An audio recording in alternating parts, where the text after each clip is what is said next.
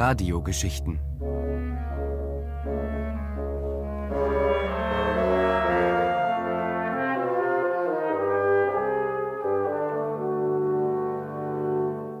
Präsentiert von Julia Zarbach. Willkommen.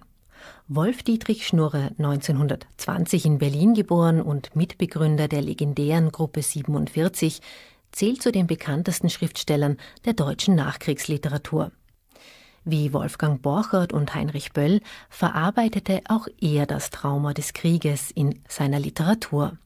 Vor allem die Kurzgeschichten des auch immer politisch aktiven, 1989 verstorbenen Büchnerpreisträgers Schnurre zählen zu den klassischen Stücken der deutschen Nachkriegsliteratur.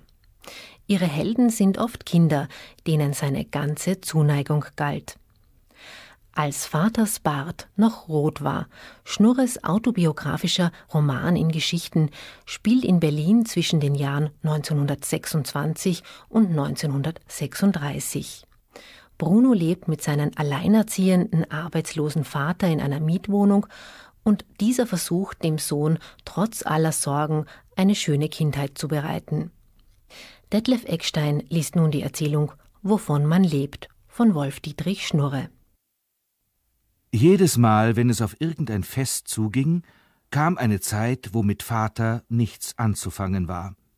Er stand dann seufzend und in Selbstgespräche vertieft herum, blätterte entschlusslos im Konversationslexikon, kaute leer vor sich hin starrend auf seinen rostfarbenen Schnurrbartenden oder fragte unvermutet mitten im ärgsten Verkehrsgewühl einen violett anlaufenden Schupo, was er für besser als Kerzenhalter geeignet hielte, Zwirnsterne oder Bieruntersätze. Mama war damit und mit noch einigem anderen nicht fertig geworden. Aber auch Frieda, die dann Mamas Nachfolge antrat, hatte es nicht immer ganz leicht. Doch es lag meistens an ihr. Denn dass Vater so oft arbeitslos war, hatte bestimmt nichts mit Faulheit zu tun. Vater hatte eben nur keine Lust, sich den ganzen Tag von mir zu trennen. Wie soll ich den Jungen erziehen, sagte er, wenn ich ihn bloß zum Abendbrot sehe. Frieda schwieg dann und nagte nur finster an ihrer Unterlippe. Dabei hatte sie gar keinen Grund, finster zu sein, denn immer, wenn von insgesamt drei Wochen, die uns noch von einem Fest trennten, so etwa zwei herum waren, trat regelmäßig das Unwahrscheinliche ein. Vaters Züge entwölkten sich, er lud Frieda, die damals noch getrennt von uns wohnte, zu einer Tasse Malzkaffee ein und teilte ihr mit, was er sich diesmal wieder Außergewöhnliches hatte einfallen lassen.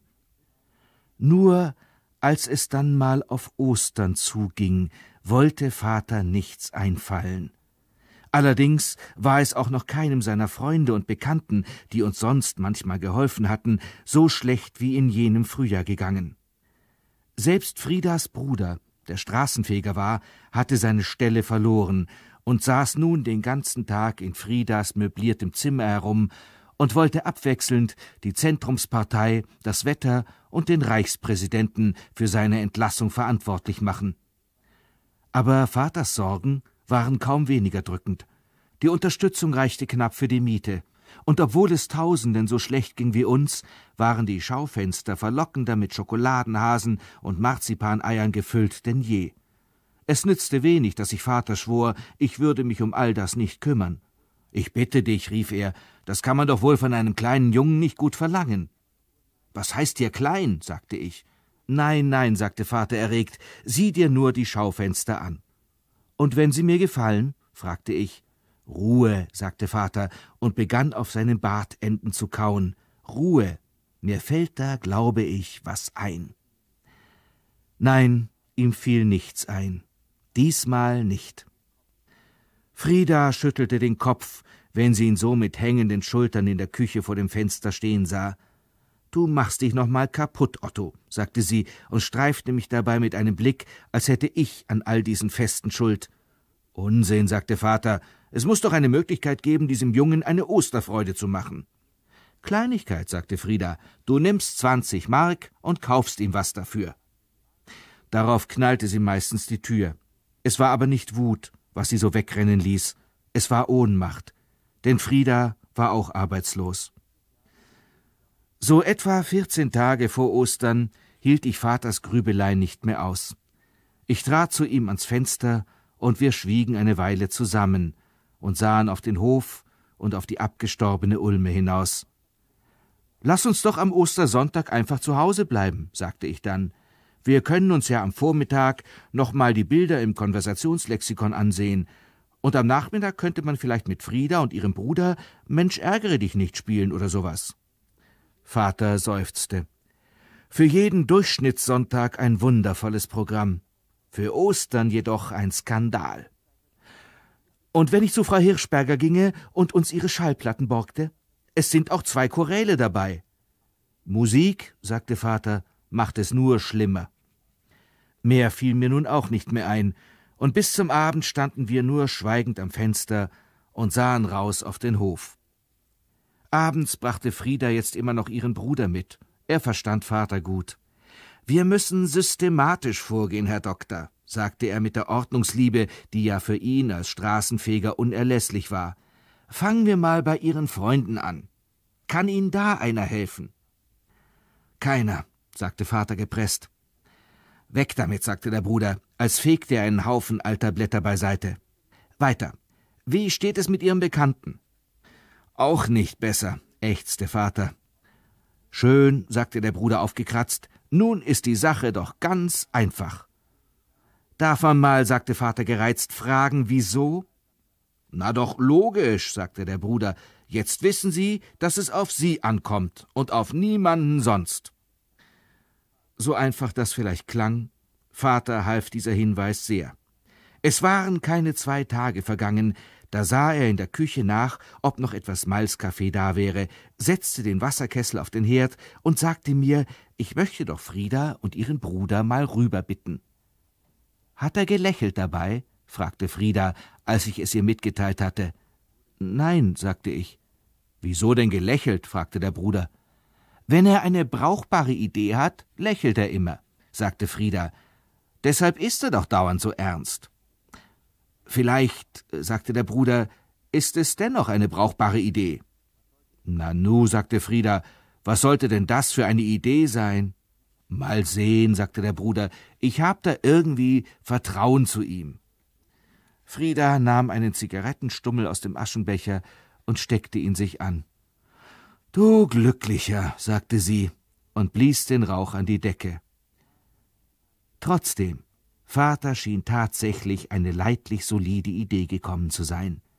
Als ich wieder von der Straße heraufkam, er hatte mich wie üblich bei sowas runtergeschickt, drückten ihm Frieda und ihr Bruder gerade ernst und gesammelt die Hand. Es fällt mir schwer, Otto, sagte Frieda, aber ich will es tun. Gemacht, Herr Doktor, sagte der Bruder, auf mich ist Verlass. Bruno, sagte Vater, und noch immer lächelte er nicht. Komm mal her. Ich ging mit so kleinen Schritten wie möglich zu ihnen hin. Bruno, sagte Vater und räusperte sich, was würdest du sagen, wenn du zu Ostern das schönste gefüllte Schokoladenei kriegst, das man sich vorstellen kann? Was ist drin? fragte ich atemlos. Was drin ist, sagte Vater mühsam, sollst du selber bestimmen. Und, und auch bei der Verpackung, warf Frieda großzügig ein, hast du ein Wort mitzureden. Lass es dir mit einer hübschen, bunten Schleife zusammenbinden, sagte der Bruder. Logisch, erwiderte ich, sonst klappt es doch auseinander. Und werde dir rechtzeitig darüber klar, sagte Vater, ob es aus gewöhnlicher Milchschokolade oder aus Krokantschokolade bestehen soll. Ginge auch beides? fragte ich. Vater sah Frieda an. Die nickte finster. Warum nicht? Ich hatte noch fast zehn Tage Zeit, um Ordnung in meine Wünsche zu bringen. Es waren somit die aufregendsten Tage, die ich bis dahin erlebt hatte. An Schlaf war kaum noch zu denken. Stundenlang lag ich nachts wach und beriet mich mit Vater, wie man das Ei sonst noch ausstatten könnte. Frieda und ihr Bruder beteiligten sich tagsüber gleichfalls an den Entwürfen, so dass unser Ei allmählich zu etwas so märchenhaft Schönem gedieh, dass ich im Stillen schon Angst bekam, es in Wirklichkeit vor mir zu sehen. Und doch kam der Tag, wo Vater vorsichtig eins von Großmutters alten, handgeschöpften Büttenblättern aus der Schreibtischschublade zog, den Federhalter eintunkte und sagte So, nun wäre Schluss mit den Skizzen, jetzt käme der Hauptentwurf dran. Wir arbeiteten noch bis in den Abend hinein an diesem endgültigen Plan. Dann hatten wir endlich alles schriftlich zusammen. Und am Morgen darauf, es war der Mittwoch vor Ostern, holte Frieda das Schriftstück ab und schob es unter einer feierlichen Zeremonie in ihre gelackte Sonntagshandtasche. So, seufzte Vater, jetzt heißt es Geduld haben. Aber ich hatte keine. Schon am Nachmittag lief ich heimlich zu Frieda und fragte sie, ob sie auch wirklich ruhigen Herzens der Überzeugung wäre, es könnte an unserem Ei nichts falsch gemacht werden. Frieda zog die Brauen zusammen und sah einen Augenblick lang zu ihrem Bruder hinüber, der am Fenster saß und die Stellenangebote in der Morgenpost studierte. Nein, sagte sie langsam, also da kannst du ganz sicher sein. Max, habe ich recht? Hundertprozentig, versicherte Max. Und dann war es soweit. Als ich am Sonnabend mal von der Straße raufkam, um mir ein Brot zu holen, nahm Vater mich bei der Hand. Er führte mich zum Schreibtisch und sagte gedämpft Da ist es drin. Wie ist es geworden? fragte ich schluckend. Unvorstellbar herrlich, sagte Vater. Du denkst, ein Märchenei vor dir zu haben. So, wie wir es uns ausgedacht haben? Stell dir vor, sagte Vater, noch schöner. Ich lag wieder fast die ganze Nacht wach und malte mir aus, wie ich es morgen in ein Nest aus grüner Papierwolle gebettet dann finden würde, silbern und mit einer blaßlila Schleife umwickelt, die in Form einer fünfzehnblättrigen Blume zurechtgezupft wäre. Und dann war der Ostersonntag endgültig da. Frieda hatte ihre bändergeschmückte Gitarre mitgebracht, die noch aus ihrer Wandervogelzeit stammte, und Max hatte seine längs gefaltete Aktentasche mit den belegten Broten darin unter dem Arm. Das Ei war schon in Vaters Rucksack verschwunden. Geh bloß vorsichtig, sagte ich, dass du nicht irgendwo anstößt. Unbesorgt, sagte Vater. Dann gingen wir los. Es war ein herrlicher Tag. Noch nie hatte ich Weißensee so schön gesehen. Überall läuteten die Glocken, und der Himmel schien aus dem gleichen Stoff zu bestehen, aus dem ich mir die Schleife des Eis gewünscht hatte. Unser Ziel waren die Rieselfelder, die gleich hinterm Stadtrand begannen. Wenn man nur weit genug lief, gab es Wiesen und kleine Erlenwäldchen in ihnen, die sich wunderbar dafür eigneten, unser Ei zu verstecken. Wir waren alle sehr fröhlich. Frieda spielte Gitarre beim Gehen, Vater pfiff und Max sang die zweite Stimme dazu. In Malchow, das bereits außerhalb lag, huschten die kleinen, weißgekleideten Dorfmädchen schon mit ihren Eierkörbchen in den Gärten herum. Silbern gezwirbelte Rauchfahnen standen senkrecht auf den moosgrünen Schilfdächern, und aus der offenen Kirchentür krachte dröhnend das Niesen des Pfarrers heraus. Eine Wegstunde weiter und wir hatten die geeignete Stelle gefunden. Es war ein sanft abfallender Wiesenhang, den unten ein Bach und ein dichtes Holundergehölz abschlossen. Wir sahen uns erst rings an den blühenden Obstbäumen satt. Max schoss ein paar Mal Kobolds und dankte seinem Schöpfer dafür, dass er arbeitslos war und heute nicht Sonntagsdienst hatte. Und dann zog Vater seinen Reklamfaust aus der Tasche und las uns mit schallender Stimme den Osterspaziergang vor. Es folgten, von Frieda gespielt und gesungen, drei Hermann Löhns Lieder, und dann kam Max mit zwei riesigen Bündeln von wildem Schnittlauch zurück, und wir frühstückten erstmal. Darauf räusperte Vater sich, nahm seinen Rucksack und sagte Ich hoffe, Bruno, du bist so fair und siehst mir nicht zu, wenn ich es jetzt verstecke. Während er weg war, versuchte ich von Frieda und Max noch schnell was über die Größe des Eies zu erfahren. Über die hatten wir nämlich komischerweise noch gar nicht so richtig gesprochen. Doch die beiden waren plötzlich einsilbig geworden, und so musste ich, als mir Vater dann pfiff, wieder die Fantasie zu Hilfe nehmen. Das hieß, ich schätzte das Ei etwa so groß ein wie meinen Kopf. Immerhin sollten ja auch noch Marzipan und Nougat-Eier und Pralinen und Fruchtschnitten Platz in ihm haben. Ich suchte ziemlich lange. Es war wohl so annähernd die aufregendste Eiersuche, die ich je mitgemacht habe. Nach zweieinhalb Stunden fing ich allerdings an, ein bisschen ungeduldig zu werden. Mehr links, rief Vater mir zu. Unsinn, rief Frieda. Ich hab zugesehen. Rechts. Macht keinen Quatsch, schrie Max. Geradeaus im Holundergebüsch.